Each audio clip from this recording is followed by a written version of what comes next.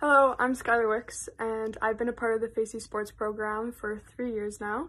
Um, I came into grade 10 scared, a little nuggets, you know, um, worried that people were going to judge me on how I play or if I wasn't good enough. But, you know, the community of it is so uplifting, so encouraging. And after the first tryout, you know, I realized that and I was like, damn, like this is, this is great. This is something I want to be a part of. And it was something that I looked forward to every day, you know. If I had a stressful day at school, I had practice at the end of the day and I would get to spend time with my teammates and, you know, and no one's there to drag you down, you know, everyone's there to make you the best person and player that you can be and you're all, you know, trying to work together. I don't know, it was just great, you know, and it's something I will miss dearly and, uh, yeah, and I'm gonna miss everybody who's helped me get here so far. And uh, thanks, Goff.